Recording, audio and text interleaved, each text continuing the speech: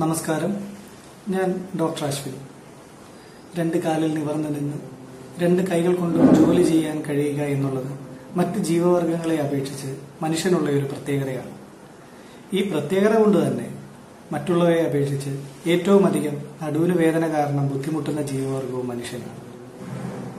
ലോക ജനസംഖ്യയിലെ തൊണ്ണൂറ്റി അഞ്ച് ശതമാനം മനുഷ്യർ ജീവിതത്തിൽ ഒരിക്കലെങ്കിലും നടുവിന് വേദന കാരണം ബുദ്ധിമുട്ടിയിട്ടുള്ളവരാണ്. ഇന്ന് നമ്മൾ സംസാരിക്കാൻ പോകുന്ന വിഷയം നടുവിന് വേദന എന്നുള്ളതാണ്. നടുവിന് വേദന എന്നുള്ളത് വളരെ വിശാലമായിട്ടുള്ള ഒരു പദമാണ്. ചെറിയൊരു മസിൽ സ്പാസം അല്ലെങ്കിൽ ഒരു കിഡ്നി സ്റ്റോൺ പാൻക്രിയാസ് പോലെയുള്ള അബ്ഡോമിനൽ ഓർഗൻസിനുണ്ടാകുന്ന എന്തെങ്കിലും ഇൻഫെക്ഷൻസ് ഒരു urinary tract infection rheumatoid arthritis പോലെയുള്ള ഓട്ടോ രോഗങ്ങൾ ബോൺ ക്യാൻസർ പോലെയുള്ള മാലിഗ്നൻസികൾ ഇങ്ങനെ നടുവിന് വേദനയ്ക്ക് കാരണമാകുന്ന അല്ലെങ്കിൽ നടുവിന് വേദന രോഗലക്ഷണമായി വരാവുന്ന ഒരുപാട് ബുദ്ധിമുട്ടുകളുണ്ട്. അതുകൊണ്ട് നടുവിന് വേദന ചികിത്സിക്കുമ്പോൾ ആദ്യം ചെയ്യേണ്ടത് ഇതിൽ എന്ത് ബുദ്ധിമുട്ടുകൊണ്ടാണ് നടുവിന് വേദന ഉണ്ടായത് എന്ന് ഐഡന്റിഫൈ ചെയ്യുകയാണ്. നമുക്ക് ആ വേദനയുടെ സ്വഭാവം വെച്ചിട്ട് കുറെ ഐഡന്റിഫൈ ചെയ്യാൻ സാധിക്കും. ഫിസിക്കൽ എക്സാമിനേഷനുകളിലൂടെ കുറച്ചുകൂടെ ഐഡന്റിഫൈ ചെയ്യാൻ സാധിക്കും. പിന്നീട് M R I C T ultrasound പോലെയുള്ള സ്കാനുകളിലൂടെ ഒരുപാട് കാരണങ്ങളെ തിരിച്ചറിയാൻ സാധിക്കും. ബ്ലഡ് ടെസ്റ്റുകൾ നടത്തുന്നതും കൃത്യമായിട്ടുള്ള അതിന്റെ കാരണത്തെ കണ്ടെത്താൻ സാധിക്കും. അങ്ങനെ ഇങ്ങനെ വിവിധ മാർഗങ്ങൾ ഉപയോഗിച്ച് കൃത്യമായുള്ള അതിന്റെ ഒരു ഡയഗ്നോസിൽ എത്തുക എന്നുള്ളതാണ് ഇത് ആദ്യത്തെ ഘട്ടത്തിൽ വേദനയ്ക്ക് ഇത്രയധികം കാരണങ്ങളുണ്ടെങ്കിലും ഏറ്റവും അധികം കാണപ്പെടുന്നത് സ്ട്രക്ചറൽ പ്രശ്നങ്ങൾ കൊണ്ടുള്ള നടുവിന് വേദനയാണ്. അതായത് ഡിസ്കിന്റെ തള്ളൽ തേയ്മാനം പോലെയുള്ള സ്ട്രക്ചറൽ പ്രശ്നങ്ങൾ കൊണ്ടുണ്ടാകുന്ന നടുവിന് വേദനയാണ് ഏറ്റവും കൂടുതലായി കാണപ്പെടുന്നത്. അതുകൊണ്ട് ആ ഒരു തരം നടുവിന് വേദനയെ കുറിച്ചാണ് നമ്മൾ ഇന്ന് സംസാരിക്കാൻ പോകുന്നത്. നട്ടലിന്റെ സ്ട്രക്ചർ എന്ന് പറയുമ്പോൾ അതിനെ നമുക്ക് മൂന്ന് ഭാഗമായി തിരിക്കാം. Lower back middle back upper back. ഇതിൽ അപ്പർ ബാക്ക് എന്ന് പറഞ്ഞാൽ നമ്മളുടെ കഴുത്തിന്റെ ഭാഗവും ലോവർ ബാക്ക് എന്ന് പറഞ്ഞാൽ നടുവിന്റെ ഭാഗവും ഈ മിഡിൽ ബാക്ക് എന്ന് പറയുന്നത് നമ്മളുടെ നെഞ്ചിന്റെ പുറകിലുള്ള ഭാഗവുമാണ്. ഇതിൽ മൂവ്മെന്റ് ഉള്ള ഭാഗം അതായത് നമ്മളുടെ കഴുത്ത് തിരിക്കുക നടു തിരിക്കുക ഇങ്ങനെ മൂവ്മെന്റ് ഉള്ള ഭാഗം എന്ന് പറഞ്ഞാൽ നടുവും കഴുത്തും മാത്രമാണ്. നടുക്കുള്ള മിഡിൽ ബാക്ക് എന്ന് പറയുന്ന നെഞ്ചും കൂടിനുള്ളിലുള്ള ഒരു ഭാഗത്തെ നട്ടല്ലുകൾ എന്ന് പറഞ്ഞാൽ മൂവ്മെന്റ് ഇല്ലാത്തതാണ്. അതുകൊണ്ട് ആ ഭാഗത്തെ നട്ടല്ലുകൾക്ക് എന്തെങ്കിലും ക്ഷതമോ അല്ലെങ്കിൽ ഒരു ഡീജനറേഷനോ സ്ട്രക്ചറൽ പ്രശ്നങ്ങളോ ഉണ്ടാകാനുള്ള സാധ്യത വളരെ കുറവാണ്. ഏറ്റവും അധികം സ്ട്രക്ചറൽ പ്രശ്നങ്ങൾ ഉണ്ടാകുന്നത് upper back area and lower back ഏരിയയിലാണ് നമുക്ക് ഇന്ന് എല്ലാം കൂടെ വിശദമായി സംസാരിക്കാൻ സമയമില്ലാത്തത് കൊണ്ട് ഇന്ന് നമ്മൾ ലോവർ ബാക്ക് ഏരിയയെ കുറിച്ചാണ് കൂടുതലായിട്ട് പറയാൻ പോകുന്നത്. ഇത്തരത്തിൽ നട്ടലിന്റെ ഒരു സ്ട്രക്ചറുകൾക്കും കാര്യമായ ക്ഷതമോ കേടുപാടുകളോ ഒന്നും സംഭവിക്കാതെ വളരെ പെട്ടെന്നുണ്ടാകുന്ന അതേപോലെ വളരെ പെട്ടെന്ന് തന്നെ പോകുന്ന മസ്കുലാർ ആയിട്ടുള്ള നടുവിന് വേദനകളുമുണ്ട്. മസിൽ സ്പാസം കൊണ്ടും മസിൽ സ്ട്രെയിൻ കൊണ്ടും ഒക്കെ ഉണ്ടാകുന്ന നടുവിന് വേദനകൾ. ഇത്തരം നടുവിന് വേദനകൾ ചിലപ്പോൾ ഒന്ന് പരിപൂർണമായി ഒന്ന് വിശ്രമിച്ചാൽ തന്നെ. അല്ലെങ്കിൽ ശകലം ഉപ്പിട്ട് വെള്ളം തിളപ്പിച്ച് ധാര ചെയ്യുക അതേപോലെ പുളിയിലിട്ട് വെള്ളം തിളപ്പിച്ച് ധാര ചെയ്യുക. ഇങ്ങനെ വളരെ ലഘുവായ ചില ചികിത്സകൾ കൊണ്ട് വീട്ടിൽ തന്നെ പരിപൂർണമായി സുഖപ്പെടുത്താൻ കഴിയുന്നു. ഇതൊന്നും ചെയ്തില്ലെങ്കിൽ തന്നെ പരിപൂർണമായി വിശ്രമിച്ചാൽ തന്നെ സുഖപ്പെടുന്ന ഒരു തരം നടുവിന് വേദനകളുമുണ്ട്. പക്ഷെ ഇതല്ലാതെ നമ്മളെ ഏറ്റവും അധികം പ്രശ്നമാകാൻ സാധ്യതയുള്ള എന്തായാലും ചികിത്സയ്ക്ക് വിധേയരാകേണ്ട ഒരു നടുവിന് വേദനയാണ് നമ്മളുടെ ഈ ഡിസ്കിന്റെ തള്ളൽ തേയ്മാനം എന്നൊക്കെ പറയുന്ന തരത്തിലുള്ളത്. നമുക്കറിയാം തലച്ചോറിൽ നിന്നും സുഷുപ്ന നാഡി ഉത്ഭവിച്ച് അത് നട്ടലിന്റെ കശേരികൾക്കിടയിൽ കൂടെ താഴെ നടുഭാഗത്ത് വരെ അത് വരുന്നുണ്ട്. അപ്പൊ ഈ ശരീരത്തിന്റെ മുകൾ ഭാഗത്ത് അതായത് കയ്യിലേക്കും ഒക്കെ സപ്ലൈ ചെയ്യുന്ന നെർവുകൾ വരുന്നത് ഈ സുഷുപ്ന മുകൾ ഭാഗത്തു നിന്നാണ് കഴുത്തിന്റെ ഭാഗത്തു നിന്നാണ്. അത് ആ ഭാഗത്തുള്ള നട്ടലിന്റെ കശേരികൾക്കിടയിൽ കൂടെയാണ് ഞരമ്പുകൾ പുറത്തേക്ക് വന്ന് അത് കൈകളിലേക്കും ശരീരത്തിന്റെ മുകൾ ഭാഗങ്ങളിലേക്കും ഒക്കെ സപ്ലൈ ചെയ്യുന്നത്. അതേപോലെ തന്നെ നടുഭാഗത്തു നിന്നും ഉത്ഭവിക്കുന്ന ചെറിയ നെർവുകളാണ് ശരീരത്തിന്റെ താഴ്ഭാഗങ്ങളിലേക്ക് എല്ലാം സപ്ലൈ ചെയ്യുന്നത്. നമ്മളുടെ കാലിലേക്കും ലോവർ അബ്ഡോമിനിലേക്കും ബട്ടക്സിലേക്കും ഒക്കെ സപ്ലൈ ചെയ്യുന്നത് അവിടെ നിന്ന് ഉത്ഭവിക്കുന്ന നെർവുകളാണ് അതുകൊണ്ട് നടുഭാഗത്ത് ഒരു ഡിസ്കിന് ചെറിയ തള്ളലോ മറ്റോ ഉണ്ടായാൽ അത് ചിലപ്പോൾ സിംറ്റമാറ്റിക് ആവണം എന്നില്ല. യാതൊരു തര ലക്ഷണങ്ങളും കാണിക്കണം എന്നില്ല. പക്ഷേ അത് ആ നെർവ് റൂട്ടിനെ ഇറിറ്റേറ്റ് ചെയ്യാൻ തുടങ്ങിക്കഴിഞ്ഞാൽ ആ കശേരികൾക്കിടയിൽ കൂടി പുറത്തേക്ക് വരുന്ന നെർവ് റൂട്ടിനെ കംപ്രസ് ചെയ്യുന്ന തരത്തിലേക്ക് അത് എത്തിക്കഴിഞ്ഞാൽ അത് ആ നെർവ് സപ്ലൈ ചെയ്യുന്ന ഏരിയകളിൽ അതി കഠിനമായ വേദനയും പെരുപ്പും ചിലപ്പോൾ തളർച്ചയും തന്നെ ഉണ്ടാകാൻ സാധ്യതയുണ്ട്. ആദ്യം അത് അനുഭവപ്പെടുന്നത് ചെറിയ പെരുപ്പായിട്ടായിരിക്കും. പിന്നീട് വേദനയാവും. പിന്നീട് അത് സെൻസേഷനെ ബാധിക്കും. അതിനുശേഷം മോട്ടോർ ഫംഗ്ഷനെ ബാധിക്കും.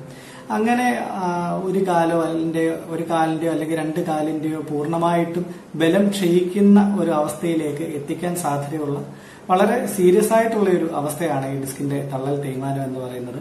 പക്ഷെ ഇതിനെ വളരെ ഏർലി സ്റ്റേജിൽ നമ്മൾ കൃത്യമായി ശ്രദ്ധിച്ച് നല്ല വിശ്രമമെടുത്ത് ചികിത്സിക്കുകയാണെങ്കിൽ പരിപൂർണമായി സുഖപ്പെടുത്താനും സാധിക്കും. നട്ടലിന്റെ രണ്ട് കശേരികൾക്കിടയിൽ അവയെ തമ്മിൽ ബന്ധിപ്പിക്കുന്ന ഒരു ഷോക്ക് അബ്സോർബർ പോലെ പ്രവർത്തിക്കുന്ന ഒരു അവയവമാണ് ഈ ഡിസ്ക് എന്ന് പറയുന്നത്. ഈ ഡിസ്കിന് രണ്ട് ഘടകങ്ങളുണ്ട്. ഒന്ന് പുറമേയുള്ള നാരുകളാൽ നിർമ്മിക്കപ്പെട്ട ഒരു വളയം. അതിനുള്ളിൽ ന്യൂക്ലിയർ പൾപ്പോസിസ് എന്നറിയപ്പെടുന്ന എണ്ണ പോലെയുള്ള ഒരു ദ്രാവകം നിറഞ്ഞ ഒരു ഭാഗം. അപ്പോൾ ഈ നട്ടലിന്റെ മുകളിലേക്ക് ഒരുപാട് പ്രഷർ വരുമ്പോൾ ആ കശേരു ആ ഡിസ്കിന്റെ മുകളിലേക്ക് ഒരുപാട് പ്രഷർ കൊടുക്കുമ്പോൾ ഉള്ളിലുള്ള ഈ ന്യൂക്ലിയർ പൾപ്പോസിസ് ആ പ്രഷറിനെ തുല്യമായ ഡിസ്കിന്റെ എല്ലാ ഭാഗത്തേക്കും വീതിച്ചു കൊടുക്കുന്നു. അങ്ങനെ ഒരു പ്രഷർ ഒരു ഭാഗത്തേക്ക് മാത്രമായി കേന്ദ്രീകരിക്കാതെ നട്ടലുണ്ടാകുന്ന സ്ട്രെയിനെ ഒഴിവാക്കി ഒരു ഷോക്ക് അബ്സോർബർ പോലെ വർക്ക് ചെയ്യുന്ന ഒരു അവയവമാണ് ഈ ഡിസ്ക് എന്ന് പറയുന്നത്. പ്രായാധിക്യം കാരണമുണ്ടാകുന്ന സ്വാഭാവിക ബലക്കുറവ് കാരണമോ അല്ലെങ്കിൽ തുടർച്ചയായി ഇരുന്ന് ജോലി ചെയ്യുന്നത് മൂലമുണ്ടാകുന്ന ബലക്കുറവ് കാരണമോ ഒക്കെ വ്യായാമക്കുറവ് മൂലവും മറ്റും ഉണ്ടാകുന്ന ബലക്കുറവ് കാരണമോ അതല്ലെങ്കിൽ പെട്ടെന്നുണ്ടാകുന്ന എന്തെങ്കിലും ക്ഷരം കാരണമോ ഈ പുറമേയുള്ള ഈ നാരുകളാൽ നിർമ്മിക്കപ്പെട്ട റിങ്ങിന്റെ അതിലെ ഫൈബറുകളെ ആനുലാർ ഫൈബറുകൾ എന്നാണ് പറയുന്നത്. ഈ ആനുലാർ ഫൈബറുകൾക്ക് ബലം കുറയുകയും ആ ബലം കുറഞ്ഞ ഫൈബറുകളുള്ള ഭാഗത്തു കൂടി ഉള്ളിലെ ഈ ന്യൂക്ലിയർ പൾപ്പോസസ് പുറത്തേക്ക് തള്ളാൻ തുടങ്ങുകയും ചെയ്യും. അതിനെയാണ് നമ്മളുടെ ഡിസ്കിന്റെ തള്ളൽ അല്ലെങ്കിൽ ഡിസ്ക് ഹെർണിയേഷൻ എന്നൊക്കെ പറയുന്നത്. ഈ ഡിസ്കിന്റെ തള്ളലിന് ശരിക്കും നാല് സ്റ്റേജസ് ഉണ്ട്. ഇതിനെ നാലായി നമുക്ക് തിരിച്ച് കാണാൻ കഴിയും. അത് ഉള്ളിലുള്ള ഈ ന്യൂക്ലിയർ പൾപ്പോസസ് എത്രമാത്രം പുറത്തേക്ക് തള്ളി അല്ലെങ്കിൽ എത്രമാത്രം പുറത്തേക്ക് വന്നു എന്നതിനനുസരിച്ചാണ് ഇതിനെ നാല് ഘട്ടമായി തിരിക്കുന്നത്. അതിൽ ആദ്യത്തെ രണ്ട് ആദ്യത്തെ രണ്ട് ഘട്ടം എന്ന് പറഞ്ഞാൽ ഉള്ളിലുള്ള ന്യൂക്ലിയർ പർപ്പോസസ് ഉള്ളിൽ നിന്ന് തന്നെ പുറത്തേക്ക് തള്ളി പുറമേയുള്ള ആനുലാർ ഫൈബറുകൾ പൊട്ടാതെ ആ ഡിസ്കിനെ പൂർണമായി പുറത്തേക്ക് തള്ളിപ്പിടിച്ചിരിക്കുന്ന ഒരു അവസ്ഥയാണ് മൂന്നാമത്തെയും നാലാമത്തെയും അവസ്ഥ എന്ന് പറഞ്ഞാൽ പുറമേയുള്ള ഈ ആനുലാർ ഫൈബറുകളും പൊട്ടി ഉള്ളിലുള്ള ഈ ന്യൂക്ലിയർ പൾപ്പോസിസ് പുറത്തേക്ക് ഒഴുകി തുടങ്ങുന്ന അവസ്ഥകളാണ്. അപ്പം എത്രമാത്രം അത് പുറത്തേക്ക് ഒഴുങ്ങി ഉള്ളിൽ നിന്നുള്ള ഉള്ളിൽ നിന്നുള്ള ഡിസ്കിന്റെ ഫ്രാഗ്മെന്റ്സ് എത്രമാത്രം പുറത്തേക്ക് വന്നു എന്നതിനൊക്കെ അനുസരിച്ചാണ് ഈ മൂന്നും നാലും സ്റ്റേജുകളെ ഡിഫറൻഷിയേറ്റ് ചെയ്യുന്നത്. ഇതിൽ ഓരോ സ്റ്റേജിലും ചെയ്യേണ്ട ചികിത്സയും എടുക്കേണ്ട വിശ്രമവും കൊടുക്കേണ്ട മരുന്നുകളും ഒക്കെ വളരെ വ്യത്യസ്തമാണ്. ഇത്തരത്തിൽ ഉണ്ടാകുന്ന നടുവിന് വേദനയുടെ ലക്ഷണങ്ങൾ എന്ന് പറഞ്ഞാൽ നമ്മളുടെ നടുഭാഗം അത് കഴിഞ്ഞാൽ നമ്മളുടെ ചന്തി തുട മുട്ട് കണങ്കാൽ കാൽപാദം എന്നിങ്ങനെ നടുവിന്റെ അവിടം തൊട്ട് താഴേക്ക് വരുന്ന കാലിന്റെ ഓരോ ഭാഗങ്ങളിലായി ക്രമത്തിൽ പെരുപ്പോ വേദനയോ ബലക്കുറവോ ഒക്കെ അനുഭവപ്പെടുക എന്നുള്ളതാണ് ഈ ഡിസ്കിന്റെ തള്ളൽ മൂലമുണ്ടാകുന്ന നടുവിന് വേദനയുടെ ഏറ്റവും പ്രധാന ലക്ഷണങ്ങൾ.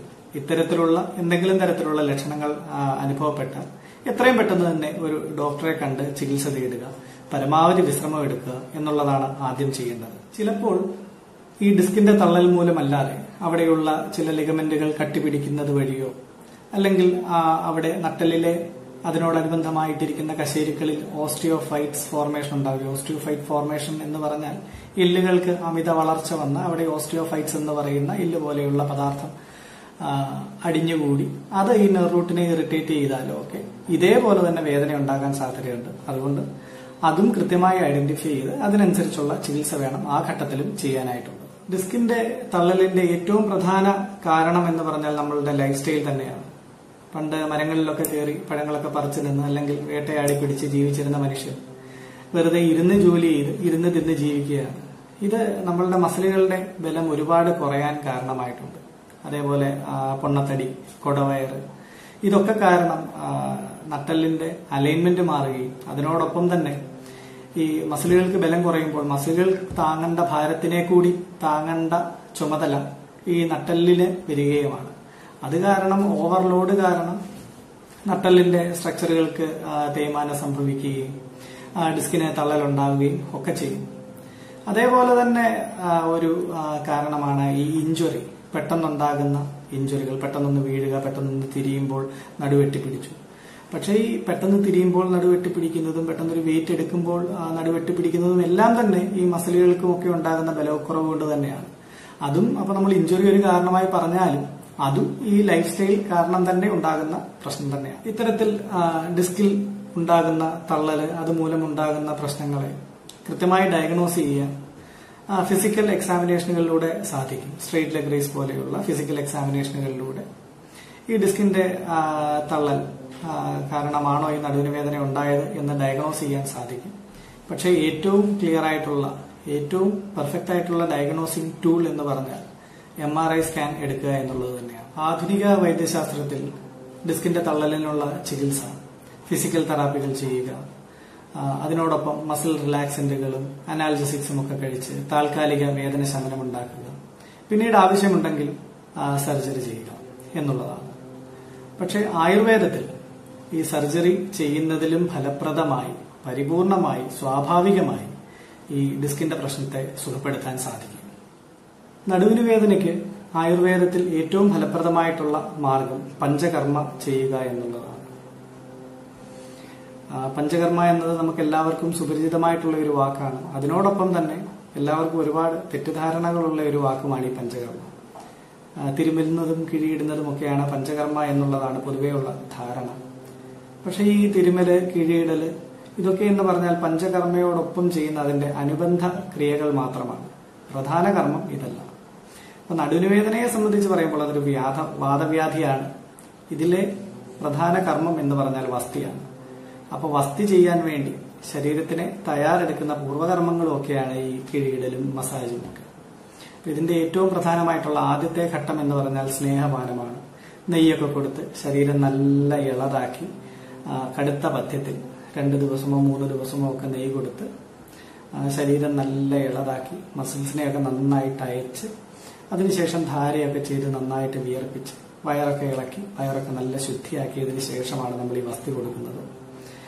ഈ വസ്തി എന്ന് പറഞ്ഞാൽ അത് ഈ നട്ടലിനെ ബലപ്പെടുത്തുന്ന തരത്തിലുള്ള ഔഷധങ്ങളും ഒക്കെ ചേർത്തുണ്ടാക്കിയ കഷായങ്ങളും എണ്ണകളും ഒക്കെയാണ്. ഇതൊക്കെ ചേർത്ത് വസ്തി കൊടുക്കുന്നതിനൊപ്പം തന്നെ ശരീരത്തിനെ വളരെ അയച്ചിട്ട് വളരെ റിലാക്സ് ചെയ്തിട്ട് അതിനോടൊപ്പം വേദന മാറുന്നതിനനുസരിച്ച് ചെറിയ വ്യായാമങ്ങളും ഒക്കെ ചെയ്ത് വളരെ പരിപൂർണമായി നമുക്ക് ഈ നടുവിന്റെ പ്രശ്നത്തിനെ സുഖപ്പെടുത്താൻ സാധിക്കും.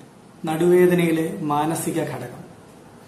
ഒരു നടുവേദന ഉണ്ടാകാൻ ചിലപ്പോൾ ഒരു മാനസിക ഘടകം കാരണമായേക്കാം. ഒരു ക്രോണിക് സ്ട്രെസ് കാരണം ഉണ്ടാകുന്ന ഒരു കണ്ടിന്യൂസ് മസിൽ സ്പാസം ചിലപ്പോൾ ഈ ഡിസ്ക് പ്രൊലാപ്സിന് കാരണമായേക്കാം. അതേപോലെ തന്നെ നടുവേദന ഉണ്ടായതിനു ശേഷവും നമ്മളുടെ ഡേ ടു ഡേ ആക്ടിവിറ്റീസ് നിർവഹിക്കാൻ പഴയ ഒരു എഫിഷ്യൻസിയിൽ പറ്റാതെ വരുമ്പോൾ അത് കാരണവും ചിലപ്പോൾ ഒരു ഡിപ്രഷൻ ആൻസൈറ്റി മുതലായ പ്രശ്നങ്ങൾ ഉണ്ടായേക്കാം. അതുകൊണ്ട് തന്നെ ഈ നടുവേദനയുടെ ചികിത്സ ചെയ്യുമ്പോൾ അതിനോടൊപ്പം തന്നെ പേഷ്യന്റിന് കോൺഫിഡൻസ് കൊടുക്കാൻ അതിനാവശ്യമായിട്ടുള്ള കൗൺസിലിങ്ങും മെഡിറ്റേഷനും ഒക്കെയും അതിന്റെ കൂടെ ചെയ്താൽ മാത്രമേ ഈ നടുവിനുവേദന ചികിത്സ പൂർണമായും ഫലം കാണുകയുള്ളൂ. നേരത്തെ നമ്മൾ പറഞ്ഞു ഈ നടുവിനുവേദന എന്ന് പറയുന്നത് ഒരു ലൈഫ് സ്റ്റൈൽ രോഗമാണ്. അതുകൊണ്ട് തന്നെ ഒരു കേവലം വേദന മാറ്റുന്നതിൽ ഒതുങ്ങില്ല ഈ നടുവിന് വേദനയുടെ ചികിത്സ. ആ നടുവിന് വേദന മാറി നടുവിന്റെ വേദന മാറിക്കഴിഞ്ഞാൽ അതിനുശേഷം ചെറിയ യോഗയൊക്കെ സ്റ്റാർട്ട് ചെയ്ത് മസിൽസിനെ സ്ട്രെങ്തൻ ചെയ്ത് രോഗിക്കൊരു കോൺഫിഡൻസ് ഉണ്ടാക്കിയെടുക്കുക. അതിനോടൊപ്പം തന്നെ മെഡിറ്റേഷൻ ഒക്കെ ചെയ്ത് മനസ്സിനെ ശാന്തമാക്കി വെക്കുക. പിന്നീട് ബലപ്പെടുന്നതിനനുസരിച്ച് ലോക യോഗയുടെ ഗ്രേഡ് ഗ്രീഡ് കൂട്ടിക്കൂട്ടി കൂടുതൽ കൂടുതൽ കോംപ്ലിക്കേറ്റഡ് ആയിട്ടുള്ള യോഗാസനങ്ങളിലേക്ക് പതുക്കെ വളരെ സാവകാശം പോയി പോയി. രോഗിയുടെ നട്ടലിന്റെ ബലവും അയാളുടെ മനസ്സിന്റെ കോൺഫിഡൻസും ഒക്കെ കൂട്ടിയെടുക്കുക. ഇതാണ് അടുത്ത ഘട്ടം. ഇത്തരത്തിൽ ഈ ആസനങ്ങൾ പിന്നീട് അയാൾ കുറേ കാലം കുറേ കാലമെന്നല്ല ജീവിതകാലം മുഴുവൻ തുടരുന്നതായിരിക്കും വളരെ നല്ലത്. അങ്ങനെ ചെയ്തു പോയി കഴിഞ്ഞാൽ ഈ ഒരു ബുദ്ധിമുട്ട് രണ്ടാമതുണ്ടാകാനുള്ള സാധ്യത വളരെ കുറവാണ്. പിന്നീട് ഒന്നുമില്ലാതിരുന്ന ഒരു സ്ഥലത്ത് നിന്നും ഇതിനു മുൻപ് ഈ നടുവിന് വേദന ഉണ്ടായ പോലെ അല്ലെങ്കിൽ അതിൽ നിന്നും വളരെ കുറച്ച് മാത്രം കൂടുതൽ സാധ്യതയേ ഉള്ളൂ രണ്ടാമത് ഈ നടുവിന് വേദന ഉണ്ടാകാൻ. അതുകൊണ്ട് കൃത്യമായി വ്യായാമം എല്ലാം ചെയ്ത് പോയി കഴിഞ്ഞാൽ ഇങ്ങനെയൊരു അസുഖം അസുഖം ഉണ്ടായിരുന്നു എന്നുള്ളത് പൂർണമായും മറക്കാൻ കഴിയുന്ന രീതിയിൽ തന്നെ നമുക്ക് ഈ നടുവിന് വേദനയെ ചികിത്സിച്ച് ഭേദമാക്കാൻ സാധിക്കും.